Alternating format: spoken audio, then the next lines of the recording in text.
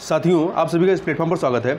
यहाँ पर हम लोग उत्तर प्रदेश लोक सेवा आयोग के द्वारा जो भी पीसीएस की परीक्षाएँ कराई गई हैं, उन प्रश्न पत्रों को यहाँ पर हम लोग पूरी व्याख्या साथ देख रहे हैं और उसी के तहत हम लोग पीसीएस 2020 के प्रश्न पत्र को सॉल्व कर रहे हैं और इसके पहले पार्ट में 75 क्वेश्चन कंप्लीट कर चुके हैं और नेक्स्ट 75 क्वेश्चन को इस वीडियो में हम लोग कंप्लीट करेंगे। चलिए प्रारंभ करते हैं। 76 नंबर क्वेश्चन है, यहाँ पे दो सूचियाँ दी गई हैं, ये पॉलिटिकल क्वेश्चन है, इन्हें हमें सुमेलित करना है। तो देखिए, यहाँ पे जो सुमेलन दिया गया है भारतीय शस्त्र अधिनियम उन्नीस अठारह का है। शाही पद अधिनियम अठारह सौ छिहत्तर का है। भारतीय उच्च न्यायालय अधिनियम जो है अठारह का है और भारतीय विवाह विच्छेद अधिनियम अठारह उनहत्तर का है। ठीक है? तो फिर से देख लीजिए, भारतीय शस्त्र अधिनियम अठारह शाही पद अधिनियम अठारह सौ छिहत्तर, भारतीय उच्च न्यायालय अधिनियम अठारह सौ इकसठ और भारतीय विवाह विच्छेद अधिनियम अठारह उनहत्तर है। ठीक है? इस प्रकार से यहाँ पे डी ऑप्शन आपका सही था। आगे चलते हैं। अगले प्रश्न पर देखते हैं। संविधान के किस भाग में पंचायती राज संबंधी या पंचायती राज व्यवस्था संबंधी प्रावधान दिए गए हैं? तो ये आपका दिया गया है भाग नौ में, ठीक है? भाग नौ में दिया गया है तो ए ऑप्शन सही हो जाएगा। तिहत्तरवें संविधान संशोधन अधिनियम उन्नीस के द्वारा संविधान के भाग नौ के तहत पंचायतों को संवैधानिक दर्जा प्रदान किया गया है। इसमें पंचायतों को स्वशासन की संस्था स्वीकार किया गया है। आगे चलते हैं। अगला प्रश्न है, भारतीय संघात्मक व्यवस्था में तृतीय तल कब जोड़ा गया? मतलब जो स्थानीय प्रशासन वाली व्यवस्था है, उसको कब जोड़ा गया? तो इसको जोड़ा गया उन्नीस सौ बानवे में 1992 में। भारतीय संघात्मक व्यवस्था में तृतीय तल वर्ष उन्नीस सौ बानवे के तिहत्तरवें और चौहत्तरवें संवैधानिक संशोधन के रूप में जोड़ा गया। तिहत्तरवां संवैधानिक संशोधन ग्रामीण स्थानीय सरकार से संबंधित है, जिन्हें पंचायती राज संस्थानों के रूप में जाना जाता है। वहीं चौहत्तरवां संविधान संशोधन शहरी स्थानीय सरकार से संबंधित है, जिन्हें नगर पालिका भी कहा जाता है। यहाँ ध्यान देने की बात है कि उत्तर प्रदेश लोक सेवा आयोग द्वारा जारी अंतिम उत्तर कुंजी में विकल्प डी को सही माना गया है मतलब उन्नीस आगे चलते हैं। निम्नलिखित में से कौन सा संविधान के अनुच्छेद तीन के तहत संसद के एक कानून द्वारा संभव नहीं है? तो नए राज्यों का प्रवेश जो है, वो अनुच्छेद तीन के तहत संसद के कानून द्वारा संभव नहीं है। देखिए, भारतीय संविधान के अनुच्छेद तीन के तहत नए राज्यों का निर्माण, उसके क्षेत्रों सीमाओं तथा नाम में परिवर्तन का अधिकार भारतीय संसद में निहित है, जबकि अनुच्छेद एक के तहत संघ का नाम और राज्य क्षेत्र, अनुच्छेद दो के तहत भारतीय संघ में नए राज्यों के प्रवेश या स्थापना का प्रावधान किया गया है। तो ये जो नए राज्यों का प्रवेश है, ये अनुच्छेद दो के तहत आएगा, ना कि तीन के तहत आएगा। आगे चलते हैं। निम्न में से कौन से पदाधिकारियों को हटाने में संसद की कोई भूमिका नहीं होती है? तो देखिए, उच्च न्यायालय के न्यायाधीशों को बिल्कुल होती है। उच्चतम न्यायालय के न्यायाधीशों को इनको भी हटाने में हटाने में संसद का की भूमिका होती है। अध्यक्ष संघ लोक सेवा आयोग के अध्यक्ष को हटाने में संसद की कोई भूमिका नहीं होती है, जबकि भारत के नियंत्रक और महालेखा परीक्षक को हटाने में भी संसद की भूमिका होती है, इसलिए डी ऑप्शन आपका केवल तीन सही हो जाएगा। देखिए, अनुच्छेद 317 के अनुसार लोक सेवा आयोग के अध्यक्ष या किसी अन्य सदस्य को केवल कदाचार के आधार पर राष्ट्रपति के ऐसे आदेश से उसके पद से हटाया जाएगा, जो उच्चतम न्यायालय को राष्ट्रपति द्वारा निर्देश किए जाने पर उस न्यायालय द्वारा अनुच्छेद 145 के अधीन इस परियोजन के लिए निर्धारित प्रक्रिया के अनुसार की गई जाँच के पश्चात इस संबंध में दिए गए प्रतिवेदन के आधार पर जारी किया गया हो। जबकि उच्च एवं उच्चतम न्यायालय के न्यायाधीशों एवं भारत के नियंत्रक एवं महालेखा परीक्षक को हटाने में संसद की भूमिका होती है। आगे देखते हैं। पंचायतों के लिए कराए जाने वाले सभी निर्वाचनों के संचालन का अधीक्षण, निदेशन और नियंत्रण निहित होता है, किसमें? यह राज्य निर्वाचन आयोग में निहित होता है। आर्टिकल दो टी, सॉरी, दो टा के वन के अनुसार पंचायतों एवं नगर पालिकाओं के चुनावों के लिए निर्वाचक नामोली तैयार कराने और उस इनके निर्वाचनों के संचालन, अधीक्षण, निदेशन और नियंत्रण एक राज्य निर्वाचन आयोग में निहित होगा। अगला है, निम्नलिखित युगों में से कौन सा सही सुमेलित नहीं है? तो देखिए अंतर्राज्य परिषद दो में है, वित्त आयोग 280 में है, प्रशासनिक न्यायाधिकरण ये अनुच्छेद 223 का में है, संघ लोक सेवा आयोग ये आपका 315 में है। तो यहाँ पर सभी सुमेलित हैं, ठीक है? तो बाद में से आयोग ने जो है अपने मूल्यांकन कुंजी से बाहर कर दिया था। तो यहाँ पर सभी के सभी सुमेलित हैं। आगे चलते हैं। भारतीय संविधान का कौन सा अनुच्छेद केंद्रीय सतर्कता आयोग का वर्णन करता है? केंद्रीय सतर्कता आयोग का। तो देखिए, केंद्रीय सतर्कता आयोग, ये कोई संवैधानिक संस्था नहीं है। तो इसका किसी भी आर्टिकल में आप उल्लेख नहीं पाएँगे। तो इसलिए उपयुक्त में से कोई नहीं। देखिए, केंद्रीय सतर्कता आयोग केंद्र सरकार में भ्रष्टाचार रोकने के लिए एक प्रमुख संस्था है। वर्ष उन्नीस में केंद्र सरकार द्वारा पारित एक प्रस्ताव के अंतर्गत इसका गठन हुआ था। भ्रष्टाचार को रोकने पर बनाई गई संथानम समिति, जो कि उन्नीस सौ की थी, की सिफारिश पर इसका गठन हुआ था। इस प्रकार मूलतः केंद्रीय सतर्कता आयोग न तो सांविधिक संस्था है, ना ही संवैधानिक है। सितंबर 2003 में संसद द्वारा पारित एक विधि द्वारा इसे, एक विधि द्वारा इसे जो है सांविधिक दर्जा दिया गया। वर्तमान में इसको सांविधिक दर्जा, संवैधानिक नहीं है। जबकि अनुच्छेद 280 वित्त आयोग अनुच्छेद दो संघ द्वारा उद्ग्रहित किए जाने वाले, किंतु राज्यों द्वारा संग्रहित और विनियोजित किए जाने वाले शुल्क है एवं अनुच्छेद दो वृत्तियों, व्यापारों, आजीविकाओं और नियोजनों पर कर से संबंधित है। आगे देखते हैं, भारतीय संविधान के अनुच्छेद तीन सौ इकहत्तर के अंतर्गत देश के किस क्षेत्र को विशेष स्थिति प्रदान की गई है? तो इसके तहत हैदराबाद और कर्नाटक को विशेष स्थिति प्रदान की गई है। देखिए एक संविधान संशोधन विधेयक 2012 जनवरी 2013 में राष्ट्रपति की स्वीकृति के पश्चात 98वां संविधान संशोधन अधिनियम 2012 बन गया। इस अधिनियम के द्वारा भारत के संविधान के भाग 21 में अनुच्छेद झा के बाद एक नया अनुच्छेद दो सौ इकहत्तर जोड़ा गया। अनुच्छेद दो सौ इकहत्तर कर्नाटक के राज्यपाल को हैदराबाद कर्नाटक क्षेत्र के विकासित कदम उठाने के लिए सशक्त करता है। आगे चलते हैं। निम्नलिखित में से कौन सा एक सही सुमेलित नहीं है? तो देखिए मूल कर्तव्य आपका भाग चार का में है, राज्य भाग छः में है, केंद्र आपका भाग पाँच में है। भारत का महान्यायवादी, भारत का महान्यायवादी ये भाग पाँच में अनुच्छेद 76 के तहत है, न कि भाग तेरह में। तो ये वाला सही नहीं है। संघ और राज्यों के अधीन सेवाएँ, ये भाग चौदह में है। आगे चलते हैं। भारतीय संसद की सबसे बड़ी समिति कौन सी है? तो ये है प्राकलन समिति। प्राकलन समिति संसद की सबसे बड़ी समिति है। इस समिति में सदस्यों की संख्या तीस होती है। इसके सदस्य केवल लोकसभा से ही लिए जाते हैं। इसका कार्यकाल एक वर्ष होता है। प्राकलन समिति यह बताती है कि प्राकलनों में निहित नीति के अनुरूप क्या मितव्ययता बरती जा सकती है तथा संगठन कार्यकुशलता और प्रशासन में क्या क्या सुधार किए जा सकते हैं। जबकि लोक लेखा समिति में दोनों सदनों के कुल बाईस सदस्य लिए जाते हैं, जिनमें पंद्रह सदस्य लोकसभा से और सात सदस्य राज्यसभा से होते हैं। समिति का कार्यकाल एक वर्षीय होता है। सरकारी उपक्रम समिति में बाईस सदस्य होते हैं, जिनमें पंद्रह लोकसभा और सात राज्यसभा से होते हैं। इनका भी कार्यकाल एक वर्ष का होता है। याचिका समिति के सदस्यों की संख्या पंद्रह होती है। इसके सदस्य इसके सदस्य अध्यक्ष द्वारा नाम निर्देशित होते हैं। इसका कार्यकाल नियत नहीं है। पुनर्गठन द्वारा, पुनर्गठन किए जाने तक यह समिति बनी रहती है। इस समिति का कार्य लोकसभा को प्रस्तुत की गई याचिकाओं पर विचार करना और प्रतिवेदन प्रस्तुत करना है। भारतीय संविधान के कौन से अनुच्छेद नागरिकता से संबंधित है? नागरिकता से संबंधित है। अनुच्छेद पाँच से ग्यारह। भारत के संविधान के भाग दो के अंतर्गत अनुच्छेद पाँच से ग्यारह तक में नागरिकता संबंधी प्रावधान उल्लिखित हैं। राज्य में मुख्यमंत्री सहित मंत्रिपरिषद में मंत्रियों की न्यूनतम संख्या कितनी हो सकती है? तो ये न्यूनतम जो है 12 हो सकती है। देखिए, भारतीय संविधान का अनुच्छेद एक एक का के अनुसार विधानसभा सदस्यों की संख्या के बारे में उपबंध है। इसके अनुसार किसी राज्य की मंत्रिपरिषद में मुख्यमंत्री सहित मंत्रियों की कुल संख्या उस राज्य की विधानसभा के सदस्यों की कुल संख्या के 15 प्रतिशत से अधिक नहीं होगी। परंतु किसी राज्य में मुख्यमंत्री सहित मंत्रियों की संख्या 12 से कम भी नहीं होगी। भारत के सर्वोच्च न्यायालय ने संविधान के आधारभूत ढांचे के सिद्धांत को स्पष्ट किया, किसमें? केशवानंद भारती वाद उन्नीस सौ तिहत्तर के मामले में। देखिए, केशवानंद भारती बनाम केरल राज्य उन्नीस सौ तिहत्तर के मामले में सर्वोच्च न्यायालय ने प्रस्तावना अर्थात उद्देशिका को भारतीय संविधान की मौलिक संरचना का भाग स्वीकार किया। सर्वोच्च न्यायालय के शब्दों में हमारे संविधान का प्रसाद उद्देशिका में वर्णित बुनियादी तत्वों पर खड़ा है। यदि इनमें से किसी भी तत्व को हटा दिया जाए तो सारा ढांचा ही ढह जाएगा, अर्थात संविधान वह नहीं रह जाएगा, अर्थात अपना व्यक्तित्व वह पहचान खो देगा। आगे देखते हैं, निम्नलिखित में से कौन सा एक सही सुमेलित नहीं है? तो देखिए, अनुच्छेद तीन सौ सॉरी, अनुच्छेद उनतालीस ए, इसमें क्या है? सामान्य न्याय एवं निःशुल्क विधिक सहायता है। अनुच्छेद चालीस में ग्राम पंचायतों का संगठन है। अनुच्छेद चौवालीस सामान्य नागरिक संहिता है। अनुच्छेद अड़तालीस, न्यायपालिका का कार्यपालिका से पृथककरण है। तो यहाँ पर अनुच्छेद अड़तालीस जो है, ये कृषि और पशुपालन के संगठन संबंधित है, न कि न्यायपालिका का कार्यपालिका से पृथककरण है। ठीक है तो डी वाला आपका यहाँ पर सुमेलित नहीं है। भारत के महान्यायवादी के संदर्भ में निम्नलिखित कथनों पर विचार कीजिए। राष्ट्रपति किसी ऐसे व्यक्ति को नियुक्ति ऐसे व्यक्ति की नियुक्ति करेगा, जो उच्चतम न्यायालय के न्यायाधीश के रूप में नियुक्ति के लिए आहर होगा। ठीक है यह कथन आपका सही है। राष्ट्रपति किसी ऐसे व्यक्ति की नियुक्ति करेगा जो उच्चतम न्यायालय के न्यायाधीश के रूप में नियुक्ति के लिए योग्य होगा महान्यायवादी के लिए। दूसरा महान्यायवादी इतना पारिश्रमिक प्राप्त करेगा जो संसद अवधारित करे। तो ये कथन आपका सही नहीं है। पहला सही है, दूसरा वाला गलत है। तो ए ऑप्शन आपका सही हो जाएगा। देखिए महान्यायवादी देश का सर्वोच्च विधि अधिकारी होता है। उनसे सेवेंटी सिक्स वन के अनुसार राष्ट्रपति उच्चतम न्यायालय का न्यायाधीश नियुक्त होने के लिए आहरित आहरित किसी व्यक्ति को भारत का महान्यायवादी नियुक्त करेगा।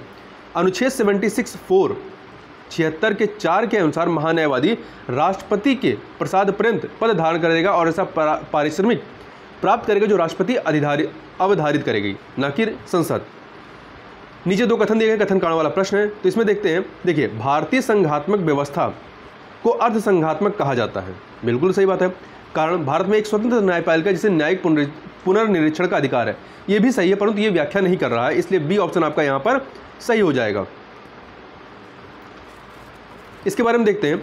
भारत के संविधान का वर्णन विभिन्न प्रकार से किया गया है। इसे अर्ध प्रसंघीय कहा गया है, परिसंघीय कहा गया है। ठीक है? इसे परिसंघीय किंतु प्रबल एकात्मक अथवा केंद्र समर्थक भी कहा गया है। संरचना में परिसंघीय किंतु भावना में एकात्मक सामान्य स्थिति में परिसंघी, किंतु आपात स्थिति आदि के दौरान पूर्णतया एकात्मक रूप में परिवर्तित हो जाने के इसके गुण के कारण ही इसे अर्धसंघात्मक कहा जाता है। भारतीय संविधान में स्वतंत्र न्यायपालिका का प्रावधान है। भारत में सर्वोच्च न्यायालय को न्यायिक पुनरीक्षण की शक्ति प्राप्त है। इसके तहत वह केंद्र व राज्य दोनों स्तरों पर विधियों और कार्यपालिका आदेशों की संवैधानिकता की जाँच की जा सकती है।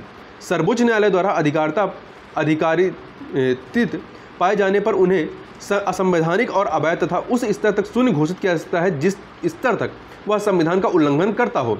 संविधान के विभिन्न अनुच्छेदों जैसे कि अनुच्छेद तेरह, बत्तीस, एक सौ इकतीस से एक सौ छत्तीस तक, एक सौ इकतालीस, एक सौ तिरालीस, दो सौ छब्बीस, दो सौ सत्ताईस, दो सौ पैंतालीस, दो सौ छियालीस, तीन सौ बहत्तर के उपबंध प्रत्यक्ष या अप्रत्यक्ष रूप से न्यायिक पुनरीक्षण की शक्ति प्रदान करते हैं।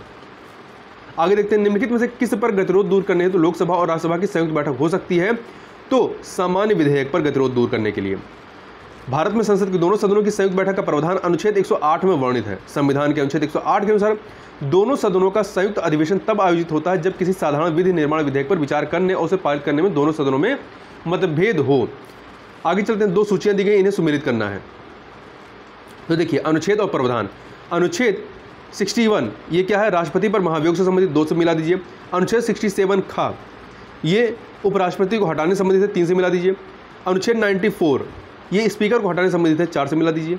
स्पीकर अर्थात अध्यक्ष को। अनुच्छेद 90 ये राज्यसभा के उपसभापति को हटाने संबंधित है इसे वन से मिला दीजिए। तो three two four one C option आपका सही हो जाएगा। देखिए, अनुच्छेद 61 राष्ट्रपति पर महाभियोग। अनुच्छेद 67 खा, उपराष्ट्रपति को हटाना। अनुच्छेद 94 स्पीकर को, अर्थात लोकसभा अध्यक्ष को हटाना। अनुच्छेद 90 राज्यसभा के उपसभापति को हटाना। आगे चलते हैं। भारत की संविधान सभा ने निम्नलिखित में से किस तिथि को राष्ट्रीय ध्वज को अपनाया था? तो 22 जुलाई उन्नीस सौ सैंतालीस को। कब? 22 जुलाई उन्नीस को अपनाया गया था। देखिए, भारत की संविधान सभा ने अपने चौथे अधिवेशन, जो कि 14 जुलाई उन्नीस सौ सैंतालीस से 11 जुलाई उन्नीस तक था, में 22 जुलाई उन्नीस सौ सैंतालीस को भारत का राष्ट्रीय ध्वज स्वीकार किया। राष्ट्रीय ध्वज के बीच चक्र में 22 चौबीस तीलियाँ हैं तथा राष्ट्रीय ध्वज की लंबाई, चौड़ाई का जो अनुपात है, वो दो अनुपाते, सॉरी, चौड़ाई, लंबाई का अनुपात है। लंबाई, चौड़ाई नहीं, चौड़ाई, लंबाई का अनुपात दो अनुपाते तीन है। आगे चलते हैं। निम्नलिखित समितियों में से किसने मात्र पोषक तत्वों की आवश्यकता के आधार पर गरीबी रेखा का निर्धारण किया था तो अलग समिति ने किया था। किसने? अलग समिति ने। भारत में गरीबी रेखा के निर्धारण की दिशा में प्रथम प्रयास वर्ष उन्नीस सौ बासठ में डी आर गॉडगिल की अध्यक्षता में गठित कार्यदल द्वारा किया गया था।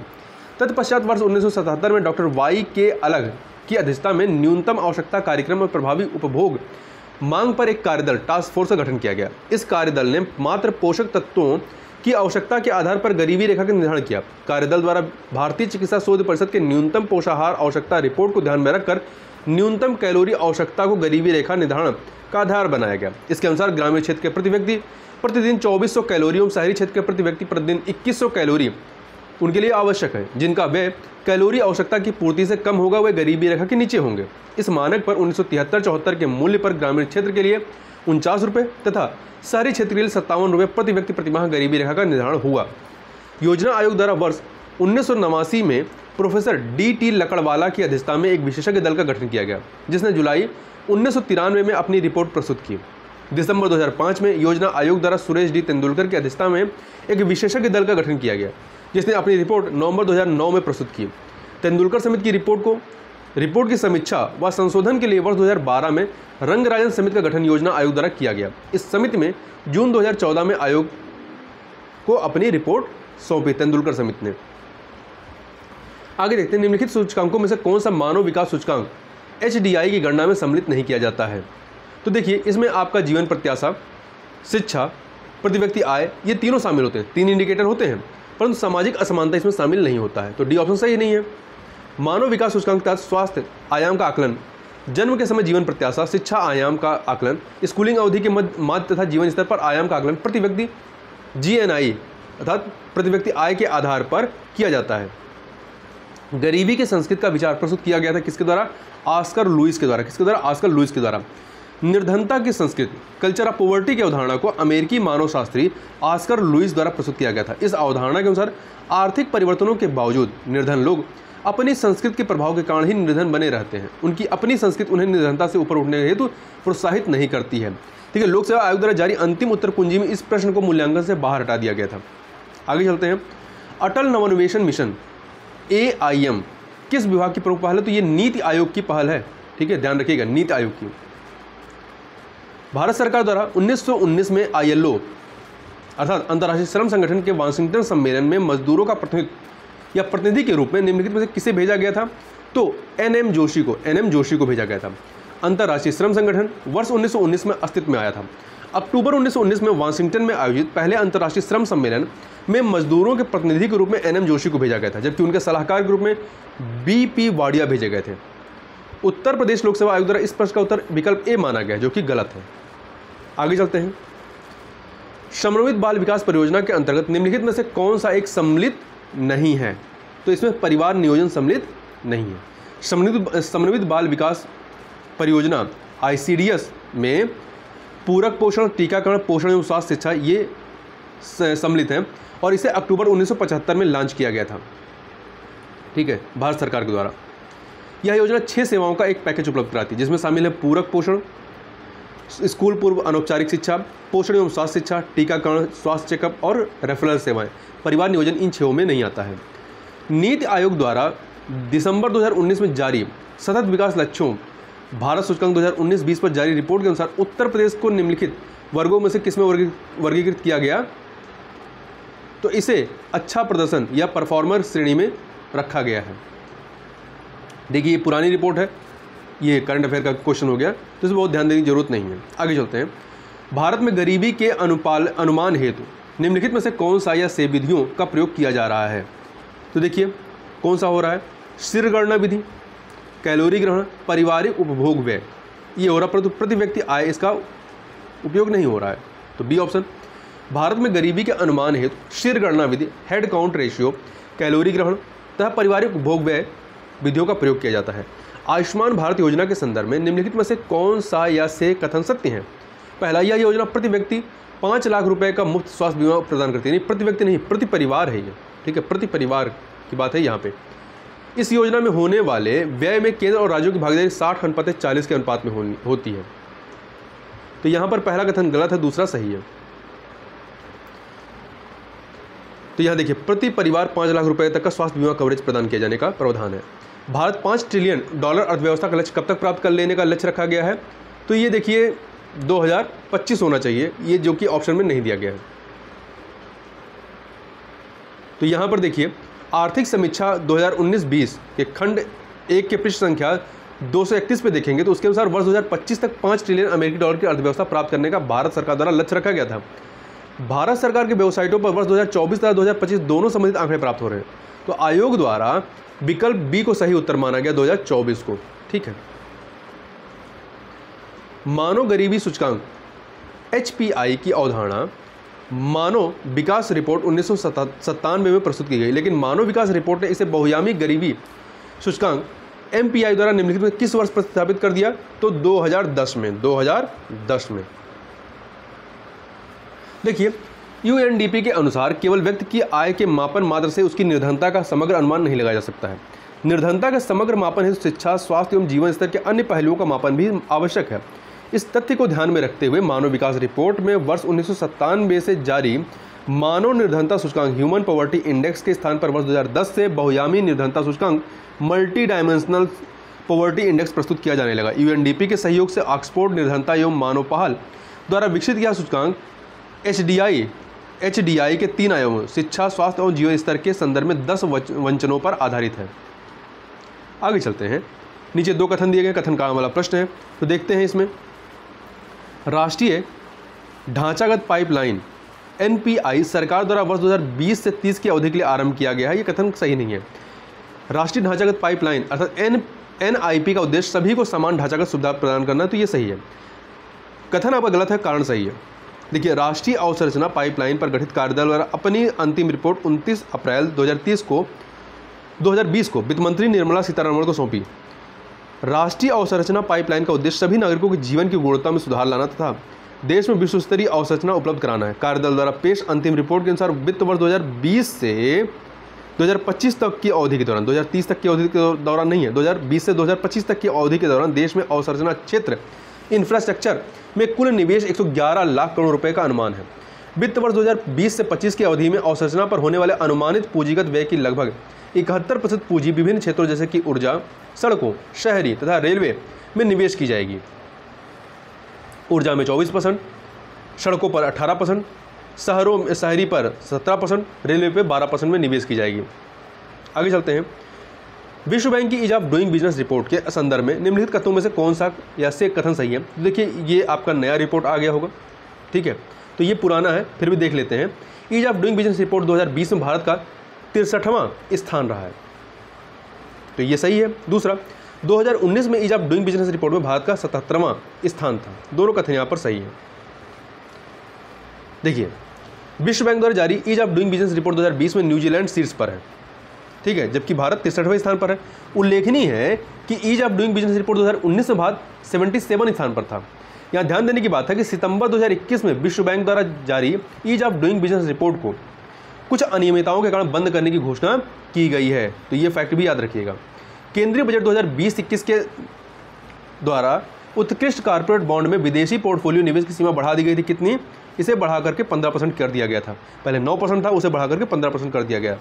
2020-21 के। अभी हम लोग 2022-23 का बजट देख रहे हैं। आगे चलते हैं। दो सूचियाँ दी गई हैं, इन्हें हमें सुमिलित करना है। इन दो सूचियों को सुमिलित करना है।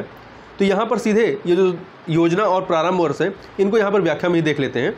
तो देखिए, पीएम जन आरोग्य अभियान, ये 2018 का है। पीएम वय वंदन योजना 2017 का है। पीएम रोज़गार प्रोत्साहन योजना 2016 का है।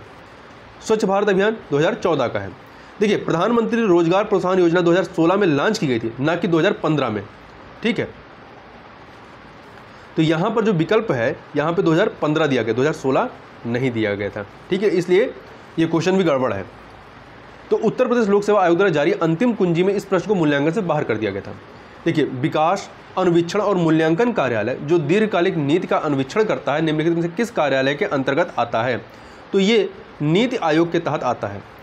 विकास अनुवीक्षण और मूल्यांकन कार्यालय, डीएमईओ की स्थापना सितंबर 2015 में पूर्ववर्ती कार्यक्रम मूल्यांकन कार्यालय, पीईओ और स्वतंत्र मूल्यांकन कार्यालय, आईईओ का विलय करके की गई है। यह नीति आयोग का एक संबद्ध कार्यालय है, जिसका उद्देश्य संगठन के अन्वीक्षण एवं मूल्यांकन अधिदेश को पूरा करना है और भारत में अन्वीक्षण और मूल्यांकन परितंत्र का निर्माण करना है।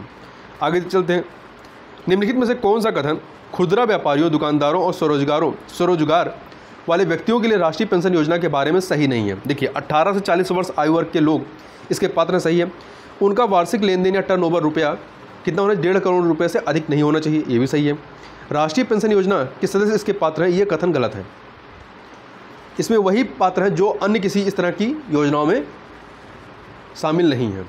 तो ये वाला आपका कथन सही नहीं है। इसके अंतर्गत तीन हज़ार रुपया का मासिक पेंशन सुनिश्चित है। तो यहाँ पर व्याख्या देखते हैं। तो देखिए, ऐसे खुदरा व्यापारी दुकानदार स्वनियोजित व्यक्ति जिनका वार्षिक लेन देन डेढ़ करोड़ रुपए से अधिक नहीं है, वे राष्ट्रीय पेंशन योजना के पात्र हैं। पात्रता हेतु निर्धारित आयु सीमा 18 से 40 वर्ष है। यह एक ऐच्छिक एवं अंशदायी पेंशन योजना है, जिसके तहत 60 वर्ष की आयु प्राप्त करने पर तीन हज़ार रुपये प्रतिमाह की सुनिश्चित पेंशन प्रदान की जानी है। ठीक है? राष्ट्रीय पेंशन योजना। आगे चलते हैं। अगला है निधि कार्यक्रम के संदर्भ में निम्न से कौन सा या से कथन सही है? निधि कार्यक्रम छात्रों के लिए स्टार्टअप हेतु प्रारंभ किया गया है। इसका उद्देश्य 20 छात्रों के स्टार्टअप हेतु प्रतिवर्ष वित्तीय सहायता प्रदान करना। दोनों कथन यहाँ पर सही हैं। देखिए, विज्ञान एवं प्रौद्योगिकी विभाग ने विभाग ने विचारों एवं नवाचारों को को सफल स्टार्टअप के रूप में रूपांतरित करने के लिए निधि अर्थात national initiative for developing and harnessing innovation प्रारंभ किया है। इसका उद्देश्य प्रतिवर्ष 20 छात्र स्टार्टअप्स को वित्तीय रूप से सहयोग प्रदान करना है। नीचे दो कथन दिए गए हैं। कथन कारण वाला प्रश्न है। तो इसको देखते हैं। देखिए, ये 2020-21 के बजट पर आधारित है।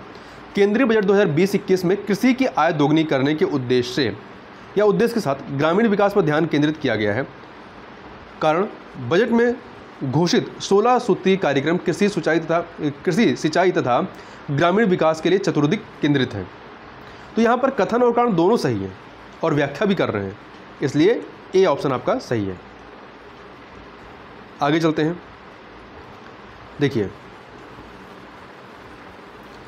ट्रेवल एंड टूरिज़्म प्रतियोगात्मक प्रतियोगितात्मक सूचकांक जो है टी जारी किया जाता है किसके द्वारा? ये विश्व आर्थिक मंच वर्ल्ड इकोनॉमिक फोरम के द्वारा इसको जारी किया जाता है। यात्रा एवं पर्यटन प्रतियोगात्मक सूचकांक सर्वप्रथम वर्ष 2007 में तैयार किया गया था। इस सूचकांक के तहत उन घटकों एवं नीतियों का मापन किया जाता है जो यात्रा एवं पर्यटन क्षेत्र के सतत विकास को सुनिश्चित करते हैं। यह यह सूचकांक यात्रा एवं पर्यटन प्रतियोगात्मकता रिपोर्ट के अंतर्गत जारी किया जाता है, जो विश्व आर्थिक मंच का एक प्रमुख उत्पाद है। निम्नलिखित घटनाओं पर विचार कीजिए।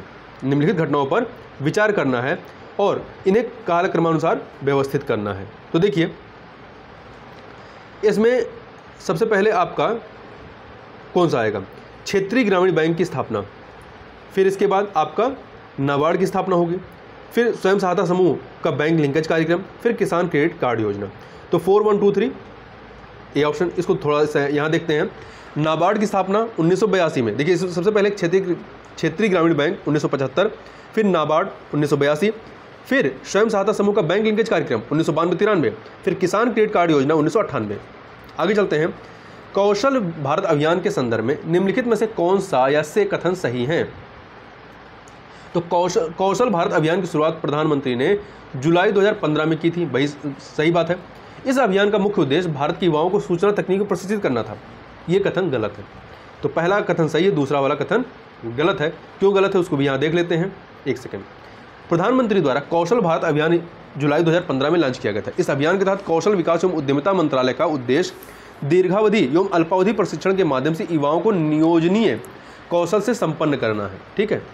अब जनसंख्या एवं नगरीकरण से संबंधित प्रश्नों को देखें तो उत्तर प्रदेश के कानपुर और लखनऊ नगर किस भारतीय जनगणना वर्ष में दस लाख, दस लाखीय नगर बने थे? तो ये, देखिए, कानपुर आपका उन्नीस सौ इकहत्तर में और लखनऊ उन्नीस में बना था। ठीक है? इसके अतिरिक्त, यहाँ ध्यान दीजिएगा, वर्तमान में उत्तर प्रदेश में सात दस लाखीय नगर हैं, नगरीय संकुलन है, जो कि कानपुर नगर, लखनऊ, गाजियाबाद, आगरा, वाराणसी, मेरठ तथा प्रयागराज, आपका इलाहाबाद, ये भी इसमें शामिल है। ध्यान रखिए, कानपुर नगर, लखनऊ, गाजियाबाद, आगरा, वाराणसी, मेरठ तथा प्रयागराज। प्रजनन के प्रतिस्थापन स्तर तक पहुँचने के लिए जनसंख्या की कुल प्रजनन दर टीएफआर क्या होनी चाहिए? 2.1 होनी चाहिए 2.1 रिप्लेसमेंट लेवल ऑफ़ फर्टिलिटी तक पहुँचने के लिए जनसंख्या कुल प्रजनन दर, टोटल फर्टिलिटी रेट 2.1 बच्चे प्रति महिला होना चाहिए। राज्य विशेष संबंधित प्रश्नों को देखें। उत्तर प्रदेश के कुल ऐसे शहर जो स्मार्ट सिटी योजना से आच्छादित हैं तो कुल 10 शहर हैं ऐसे। कौन कौन से हैं? मुरादाबाद, अलीगढ़, सहारनपुर, बरेली, झांसी, कानपुर, प्रयागराज, लखनऊ, वाराणसी और आगरा। फिर से नाम सुनिए। मुरादाबाद, अलीगढ़, सहारनपुर, बरेली, झांसी, कानपुर, प्रयागराज, लखनऊ, वाराणसी, आगरा। इसमें ध्यान रखिएगा, गोरखपुर शामिल नहीं है। आगे चलते हैं। उत्तर प्रदेश मंत्रिमंडल ने 29 जुलाई 2020 को निम्नलिखित नगरों में से किसमें राष्ट्रीय विधि विश्वविद्यालय की स्थापना का अनुमोदन किया था प्रयागराज में। तो प्रयागराज में 25 एकड़ भूमि पर राष्ट्रीय विधि विश्वविद्यालय की स्थापना की जाएगी। अगस्त 2020 में उत्तर प्रदेश विधानसभा द्वारा उत्तर प्रदेश राष्ट्रीय विधि विश्वविद्यालय प्रयागराज विधेयक 2020 को मंजूरी प्रदान की गई है। उत्तर प्रदेश के निम्नलिखित जिलों में से किसमें 2018 में फ्रांस के सहयोग से एक बृहद सौर ऊर्जा संयंत्र को स्थापित किया गया है? कहाँ पर किया गया है? मिर्जापुर। ये भी करंट अफेयर का ही क्वेश्चन है। ठीक है। जनवरी 2020 में उत्तर प्रदेश में कितने स्थलों को रामसर साइट में शामिल किया गया? तो उस समय कुल छः को किया गया था, ठीक है? उस समय छः को किया गया था। अब लेटेस्ट याद रखिएगा, दस को शामिल कर लिया गया है। अब उत्तर प्रदेश में कुल दस ऐसे स्थल हैं जो कि रामसर साइट में शामिल हैं, ठीक है? तो इसको याद रखिएगा। उत्तर प्रदेश के निम्नलिखित में से किस हवाई अड्डे को भारत के केंद्रीय मंत्रिमंडल ने 24 जून 2020 को अंतर्राष्ट्रीय दर्जा स्वीकृत किया था? तो कुशीनगर हवाई अड्डे को। उत्तर प्रदेश के निम्नलिखित नगरों में से कौन सा या से विरासत शहर, विकास और वृद्धि योजना अर्थात हृदय के अंतर्गत शामिल किया गया है? तो किसको किसको शामिल किया गया है? तो वाराणसी, बनारस और मथुरा को, बनारस और मथुरा को। तो सी ऑप्शन आपका सही हो जाएगा। आगे देखते हैं। राष्ट्रीय विरासत शहर, विकास एवं वृद्धि योजना हृदय 21 जनवरी 2015 को लॉन्च की गई थी। यह योजना निम्न बारह शहरों में कार्यान्वित की गई है। ठीक है? अजमेर, अमरावती, अमृतसर, बादामी, द्वारका, गया कांचीपुरम मथुरा, उत्तर प्रदेश का मथुरा, पुरी, उत्तर प्रदेश का वाराणसी, बिलकन्नी तथा वारंगल। तो उत्तर प्रदेश के दो शहरों को लिया गया इसमें, मथुरा और वाराणसी को। उत्तर प्रदेश में बायोटेक्नोलॉजी पार्क निम्नलिखित में से स्थानों में से कहाँ पर स्थित है? तो लखनऊ में है। ठीक है? यह लखनऊ में है। अब करंट अफेयर के जो क्वेश्चन है, ये चूँकि पुराने हैं, ये हमारे काम के अभी नहीं है तो इसको छोड़ देते हैं। तो 127 से लेकर के 143 क्वेश्चन तक ये करंट अफेयर के क्वेश्चन हैं, इनको छोड़ देते हैं। अब आते हैं विविध वाले प्रश्नों पर। दो सूचियाँ दी गई हैं, इन्हें हमें सुमिलित करना है। तो देखिए, जजमानी जजमानी प्रथा कहाँ पे होती है? ये आपकी होती है उत्तर भारत में। बारह बारह बलूट, महाराष्ट्र तीन से, मिराशी मिरासी जो है तमिलनाडु चार से, अडाडे, कर्नाटक, दो से। तो one three one three, four two, D option. फिर से देख लेते हैं। जजमानी, उत्तर भारत बारह बलूट महाराष्ट्र, मिरासी, तमिलनाडु, अडाडे, कर्नाटक। आयोग ने अपने उत्तर कुंजी में इसका विकल्प जो है बी दिया था। बी दिया हुआ है। ठीक है? जो कि गलत है। बी के अनुसार देखें क्या हो जाएगा। तो बी के अनुसार जजमानी आपका उत्तर भारत में है। बारह बलूट महाराष्ट्र में। ये भी सही है। परंतु मिराशी को इन्होंने जो है कर्नाटक में माना है और अडाडे को तमिलनाडु माना है, जबकि मिराशी तमिलनाडु का है और अडाडे कर्नाटक का है। आगे चलते हैं। सर्वप्रथम सीमांत व्यक्ति या मार्जिनल मैन की संकल्पना का प्रतिपादन किया गया किसके द्वारा? रॉबर्ट ई पार्क के द्वारा। रॉबर्ट ई पार्क के द्वारा। सर्वप्रथम रॉबर्ट ई पार्क ने सीमांत आदमी मार्जिनल मैन की संकल्पना का प्रतिपादन अपने लेख मानव का स्थान, परिवर्तन और सीमांत आदमी human migration and the marginal man में किया। हालाँकि इस संकल्पना को लोकप्रिय ई बी स्टोन क्विस्ट ने किया था। रॉबर्ट ई पार्क ने इस बात की ओर संकेत किया कि विभिन्न प्रजातियों के बीच आपसी संबंध के बीच जो नई प्रजाति अथवा पीढ़ी विकसित होती है, वह संक्रमण के दौर से गुजरती है तथा धीरे धीरे अपने समाज में हाशिए पर चली जाती है। इस कारण वे इस बात की स्थापना करते हैं कि सीमांत आदमी मिश्रित खून का आदमी होता है, क्योंकि वह एक साथ ऐसे दो विश्व में रहता है, जिसमें वह कम या अधिक अपने आप को अजनबी महसूस करता है। इसके साथ ही धीरे धीरे उसके अंदर कुछ ऐसी प्रवृत्तियाँ पनपने लगती हैं, जिसके कारण वह अपने आप को बेचैन, रुग्ण और कलांत अनुभव करने लगता है, तथा उसके अंदर अस्थायीपन भाव झलकने लगते हैं। बहुत सारी प्रजातियाँ अपने शारीरिक आकृति के कारण ही हाशिए पर चली जाती हैं, जैसे कि दक्षिण अमेरिका, अफ्रीका और अमेरिका के अश्वैत समाज के साथ हुआ। भारत के निम्नलिखित राज्यों में से किसमें कोविड नाइन्टीन अवधि में पहली बार ई लोक अदालत प्रारंभ हुआ तो ये हुआ था छत्तीसगढ़ में। छत्तीसगढ़ में, ठीक है? 11 जुलाई 2020 को। छत्तीसगढ़ उच्च न्यायालय एवं राज्य विधिक सेवा प्राधिकरण के द्वारा इसको प्रारंभ किया गया था। भारत में मिट्टी बचाओ आंदोलन कहाँ से प्रारंभ हुआ था? तो ये मध्य प्रदेश के होशंगाबाद में, मध्य प्रदेश के होशंगाबाद। भारत में मिट्टी बचाओ आंदोलन मध्य प्रदेश के होशंगाबाद ज़िले से प्रारंभ हुआ। उत्तर प्रदेश लोक सेवा आयोग द्वारा इस प्रश्न का उत्तर अंतिम उत्तर कुंजी में विकल्प सी माना गया था मतलब बिहार के दरभंगा से, जबकि आयोग द्वारा जो अंतिम कुंजी आई थी उसमें मध्य प्रदेश के होशंगाबाद को सही माना गया है। आगे चलते हैं। राष्ट्रीय महिला आयोग के निम्नलिखित अध्यक्षों पर विचार कीजिए। Jayanti Patnaik, Mamta Sharma, doctor Girija Vyas, doctor Purnima Advani. हमें यहाँ पर इनका सही कार्यक्रम बताना है। तो देखिए। इसमें क्रम देखिए, यहाँ पे देख लेते हैं। जयंती पटनायक जयंती पटनायक जो है, उन्नीस सौ बानवे में, ममता शर्मा 2011 में है, डॉक्टर गिरजा व्यास 2005 डॉक्टर पूर्णिमा अडवाणी 2002 तो सबसे पहले कौन आएँगे? जयंती पटनायक जयंती पटनायक के बाद डॉक्टर पूर्णिमा अडवाणी, फिर डॉक्टर गिरजा व्यास और सबसे लास्ट में ममता शर्मा हो जाएँगी। तो one four three two D option आगे चलते हैं, हौसला 2018 के संदर्भ में निम्नलिखित में से कौन सा या से कथन सही है? पहला, हौसला 2018 का आयोजन महिला एवं बाल विकास मंत्रालय, भारत सरकार द्वारा नई दिल्ली में किया गया था। सही बात है। यह बच्चों की देखरेख करने वाली संस्थाओं के बच्चों का राष्ट्रीय उत्सव था। ये भी सही है। दोनों कथन यहाँ पर सही हैं। देखिए छब्बीस छब्बीस, उनतीस नवंबर 2018 के मध्य नई दिल्ली में महिला एवं बाल विकास मंत्रालय द्वारा हौसला 2018 का आयोजन किया गया था। यह बाल देखभाल संस्थानों के बच्चों हित आयोजित एक राष्ट्रीय महोत्सव था। आगे देखते हैं। लॉकडाउन के दौरान भारत सरकार के द्वारा प्रयुक्त असाधारण शक्तियों को विधिक आधार निम्नलिखित में किस, किन कानूनों से प्राप्त हुआ?